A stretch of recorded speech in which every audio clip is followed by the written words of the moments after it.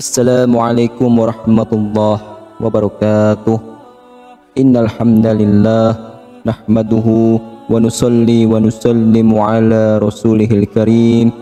أشهد أن لا إله إلا الله وأشهد أن محمدا عبده ورسوله. اللهم صل على سيدنا محمد وعلى آل سيدنا محمد. أما بعد. Sahabat beriman yang dirahmati oleh Allah Subhanahu wa taala. Islam merupakan agama yang sempurna dan penuh kasih sayang kepada seluruh makhluk. Rasulullah sallallahu alaihi wasallam yang diutus sebagai rahmatan lil alamin pun telah mengajari kita sebagai umatnya untuk selalu berbuat baik kepada makhluk ciptaan Allah Subhanahu wa taala. Salah satunya ialah berbuat baik kepada kucing. Kucing merupakan hewan yang dicintai dalam Islam Sebab Rasulullah Shallallahu Alaihi Wasallam sangat menyayangi kucing. Hewan yang sering dipelihara oleh kebanyakan orang ini mengandung banyak keberkahan di baliknya.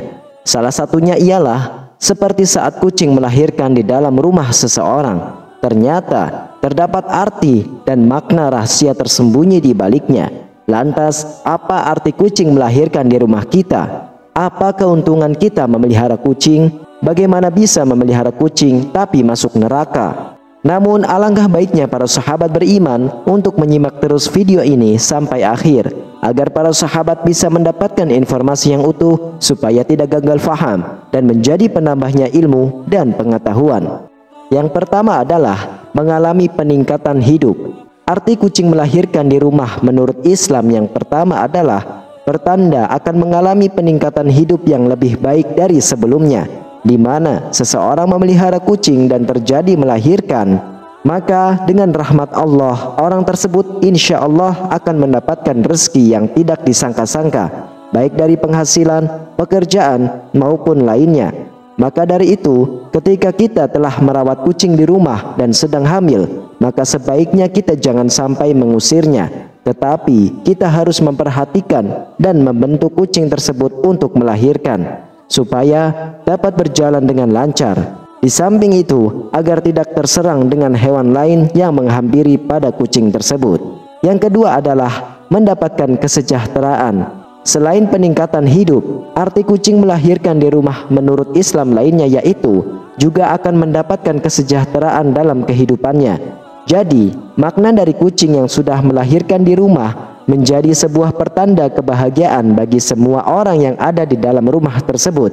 Bahkan pemiliknya akan selalu mempersiapkan segala kebutuhan yang diperlukannya. Selain itu, terkadang ada yang memberikan hadiah maupun kado daripada pecinta hewan lainnya.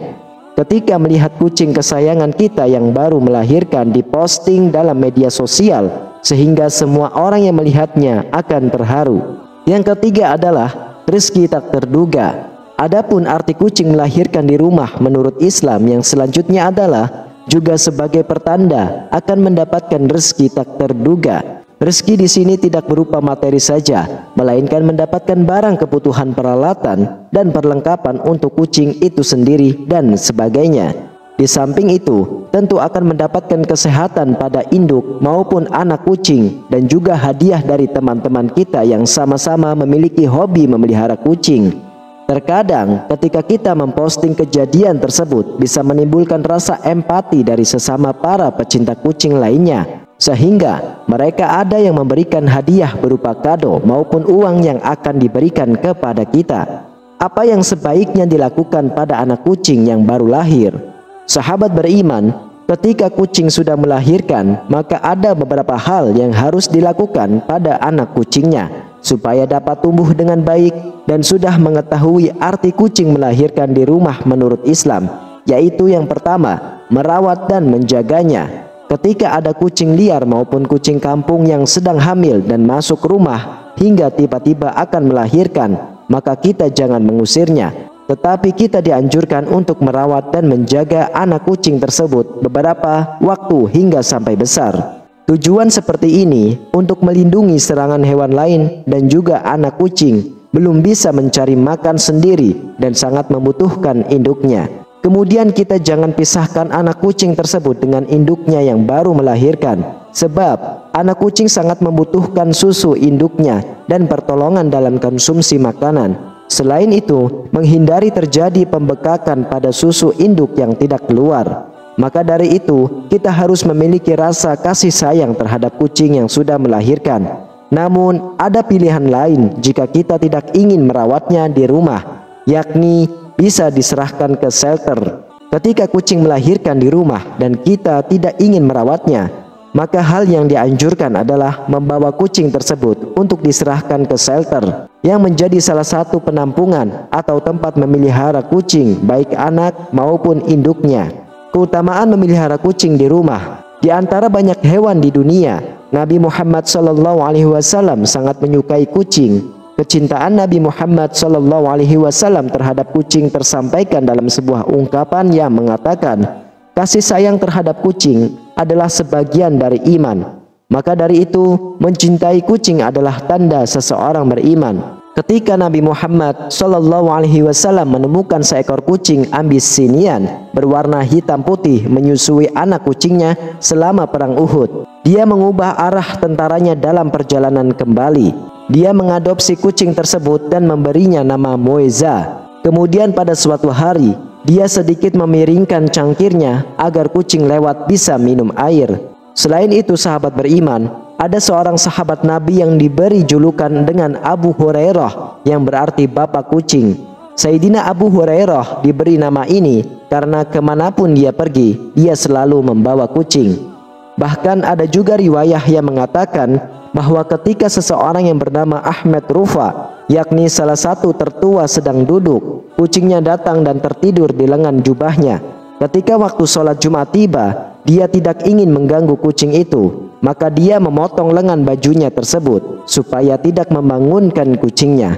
Muslim sepenuhnya bebas untuk hidup dengan kucing, namun mereka harus memperlakukan kucing dengan baik. Kucing harus diberi makan, air, dan waktu jelajah yang cukup. Mereka harus diberikan kebebasan bergerak. Karena betapa disayang dan dicintainya kucing dalam Islam, perlakuan buruk terhadap hewan ini bisa dianggap sebagai dosa yang serius, bahkan bisa menyebabkan seseorang masuk ke dalam neraka. Al-Imam Al-Bukhari pernah menuliskan sebuah hadis tentang seseorang wanita yang mengunci kucingnya, penolak untuk memberinya makan, maka wanita tersebut mendapatkan siksaan api neraka. Lalu Nabi Shallallahu Alaihi Wasallam bersabda bahwa hukumnya pada hari pembalasan adalah siksaan dan neraka. Namun selain itu, Rasulullah Shallallahu Alaihi Wasallam juga bersabda, sungguh ada hadiah surgawi untuk setiap kebaikan yang dilakukan terhadap hewan hidup. Kucing adalah salah satu hewan yang disayangi oleh Rasulullah Shallallahu Alaihi Wasallam, sehingga Allah Subhanahu Wa Taala pun menyayanginya Barang siapa memberi makan kucing dan merawatnya dengan baik, maka dia melakukan perbuatan baik. Dan dengan demikian, dia akan diberi pahala oleh Allah Subhanahu wa taala. Sebab Rasulullah sallallahu alaihi wasallam bersabda, orang-orang yang baik dan perhatian kepada makhluk Allah, Allah Subhanahu wa taala melimpahkan kebaikan dan kasih sayangnya kepada mereka. Perlihatkan kebaikan kepada makhluk di bumi agar Allah berbaik hati kepadamu. Hadis riwayah Imam Abu Daud dan Imam Tirmizi. Wallahu alam bisawab. Demikianlah para sahabatku yang dirahmati oleh Allah. Hanya ini yang bisa saya bagikan dan sampaikan. Semoga bermanfaat untuk kita semua. Wassalamualaikum warahmatullahi wabarakatuh.